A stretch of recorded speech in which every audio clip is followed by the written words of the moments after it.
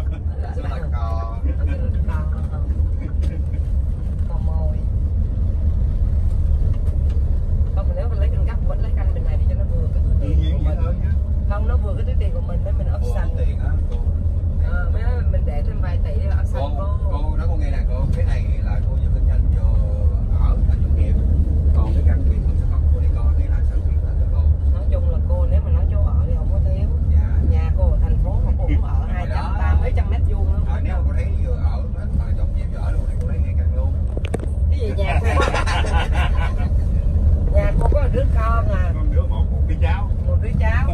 một bà vú dạ, cái gì cũng một một hết. Trái nha nói chung nhà cô người hiếm hoi. Đây đây cô đây cái căn bằng góc hồi nãy cái này đây đây đây, đây. đẹp rồi nhưng mà nói chung là tiền bây giờ có muốn kinh doanh không biết kinh doanh không biết người đâu mà đến cai quản.